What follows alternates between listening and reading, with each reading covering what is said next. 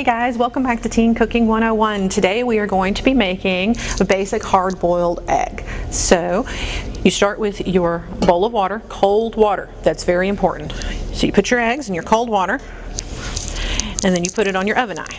Like I said this one before, it runs a little cold, so I've had to turn mine all the way up to warm, to high, to get it to actually to boil the water and we are going to get the water boiling and then that's where all the magic will happen. So we'll come back as soon as this water is boiling.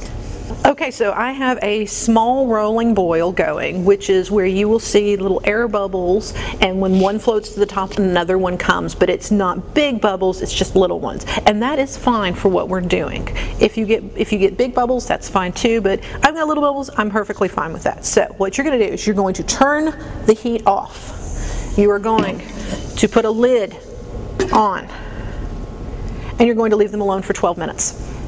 And then after 12 minutes, they will be fully cooked, hard-boiled eggs. So, see you in 12 minutes.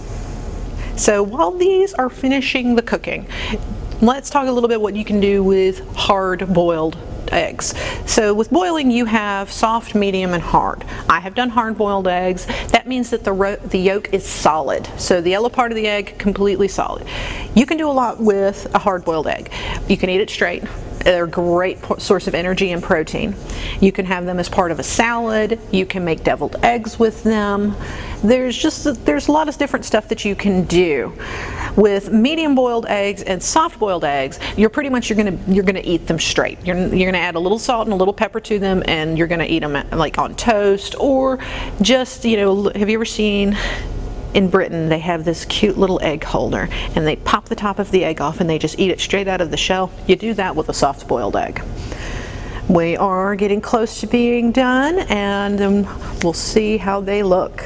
Now that our 12 minute eggs are done, we are going to carefully take them off and scoop them out. Now, these eggs will be warm, so be careful while you're scooping them out.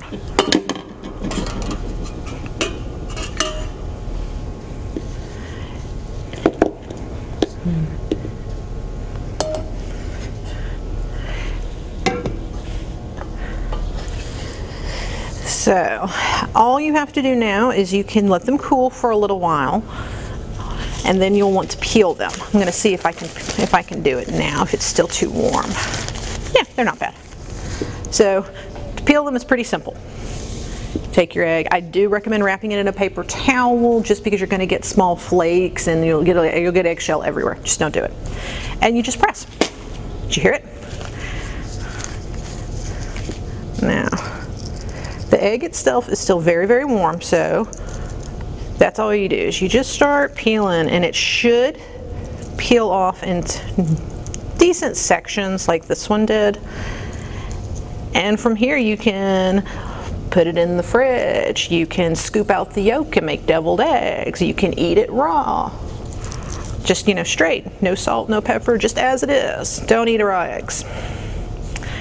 And that, that's it. That's how you make quick 12 minute deviled eggs. I do recommend letting it cool a little bit because it will burn your fingers.